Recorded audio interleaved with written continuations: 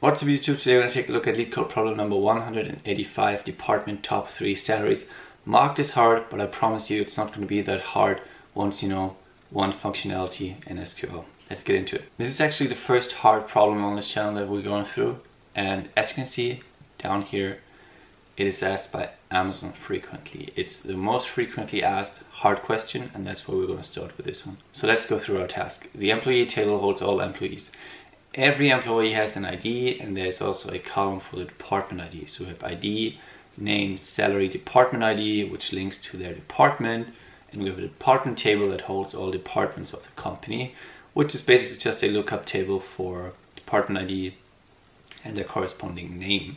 So in the end, we're probably going to have to join these to get the department name. Our task is to write a SQL query to find employees who earn the top three salaries in each of the department. For the above tables, your SQL query should return the following rows. Order of rows does not matter, so we don't have to sort it in the end. So as we can see, we have four entries for IT because we have employees that have the same salary on second place. So we want to rank them including ties and not just skip after three entries if there's a tie. And for sales, we only have two entries, so we're just gonna return the first two. That is also backed by the explanation in the end. In IT department, Max earns the highest salary, both Randy and Joe earn the second highest salary, and Will earns the third highest salary. The only two employees in the sales department, Henry earns the highest salary, while Sam earns the second highest salary. Only two entries. So let's get into solving this problem. So this problem is quite similar to one we had before on this channel, which is called nth highest salary, where you try to find maybe the fourth highest salary for a table. And in this case, we're just trying to find the top three salaries and the corresponding names. And there's multiple ways of doing it. Some way similar to the one we had before on this channel, but this time I want to use window functions because I think it's the easiest and most straightforward way once you understand how window functions work.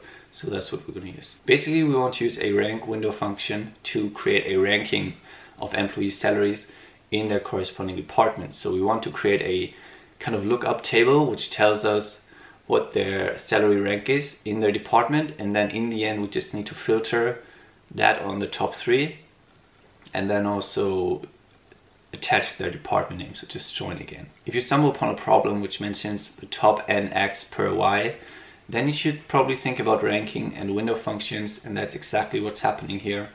And I think it's a quite valid question that might actually arise in your day-to-day -day job, so I think it's a nice question.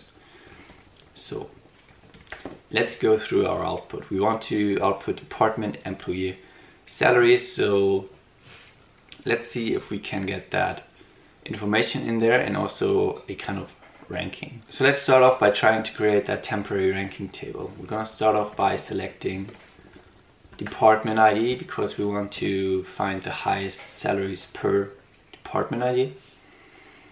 Then also name the salary and then we want to create our rank as R. Usually you call them R, that's what I do and that is kind of a common way of naming it. But let's see, we need to use a ranking window function.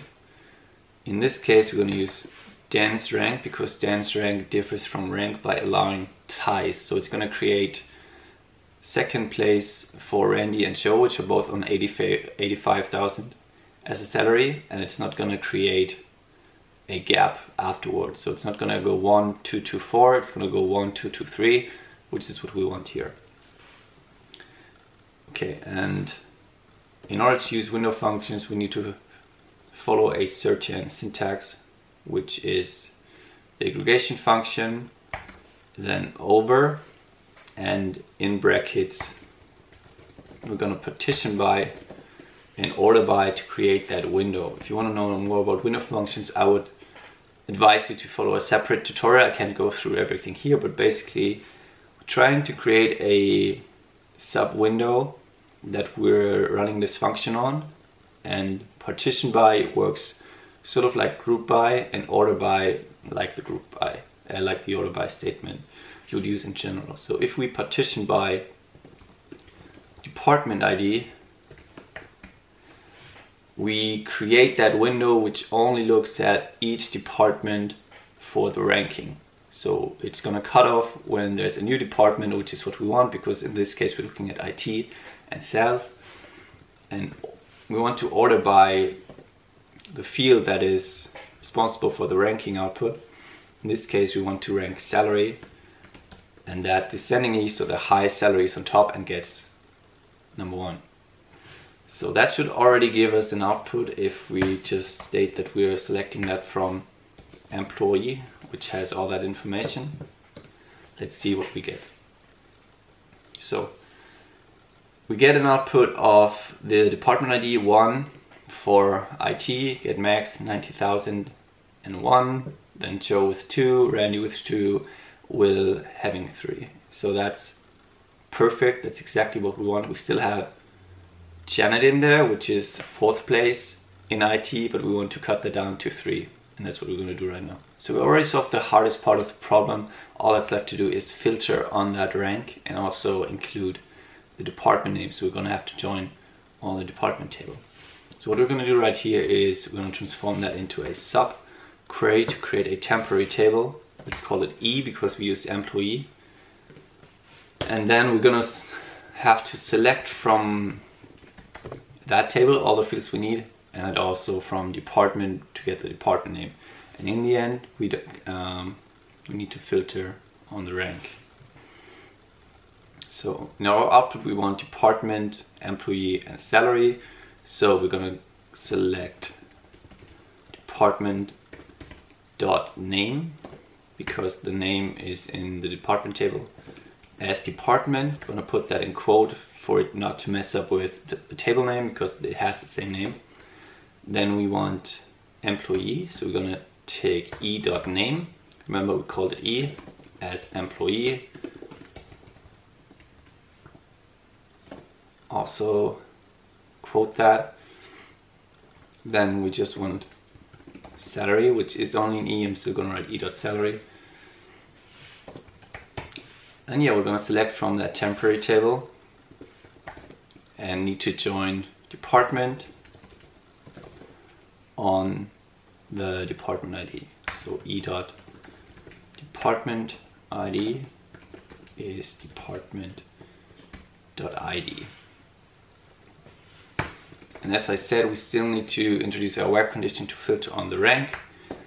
And the rank we want to include should be smaller than or equal to 3. So it's going to put out rank 1, 2, and 3. Or if there's only 2, like in sales, it's just going to put out 1 and 2. So let's see what happens if we run that code. We're going to get an accepted output. We don't need to sort that output as the question mentioned. And we're pretty much good to go. We can submit that. I'm going to get an accepted result. And that's pretty much it for that question.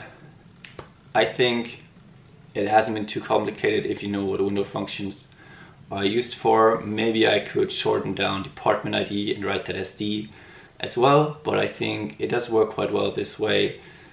And if you stumble upon a problem that mentions the top n per y, then you should probably think about using window functions as I did right here.